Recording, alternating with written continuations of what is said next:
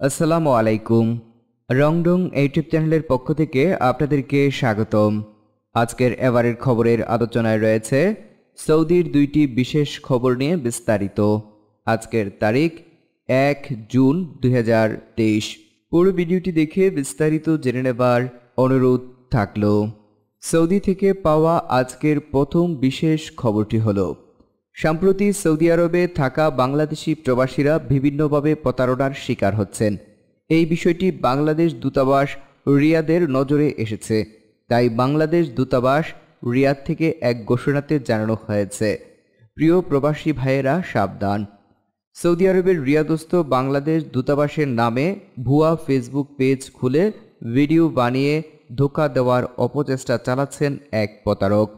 আপনাদের সদয় অবগতির জন্য জানানো যাচ্ছে যে, একটি মাত্র দূতাবাসের অফিসিয়াল পেজ রয়েছে, যেখানে আটান্ন হাজার ফলোয়ার রয়েছে।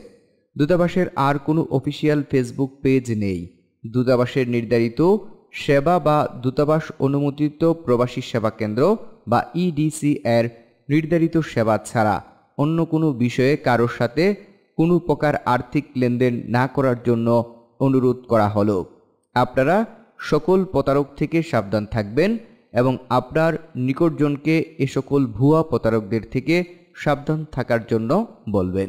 আজকের দ্বিতীয় বিশেষ খবরটি হল, আরব নিউজ পত্রিকার এক খবরে জানানো হয়েছে, সৌদির জেনারেল অথরিটি ফর এস্টেটিক্স মানে পরিসংখ্যান অধিদপ্তর জানিয়েছেন যে, দুই হাজার বাইশ সালের আদমশুমারির তথ্য মতে, সৌদি আরবের জনসংখ্যা বত্রিশ দশমিক দুই মিলিয়নে পৌঁছেছে।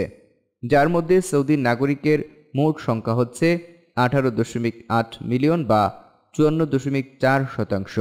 আর অসৌদির সংখ্যা হচ্ছে তেরো দশমিক চার মিলিয়ন বা জনসংখ্যার একচল্লিশ দশমিক ছয় শতাংশ। তথ্য মতে, সৌদিতে এখন পুরুষের সংখ্যা উনিশ দশমিক সাত মিলিয়নে পৌঁছেছে, যা জনসংখ্যার একষট্টি শতাংশ। আর মহিলাদের সংখ্যা বারো দশমিক পাঁচ মিলিয়নে পৌঁছেছে, যা জনসংখ্যার উনচল্লিশ শতাংশের প্রতিনিধিত্ব করে।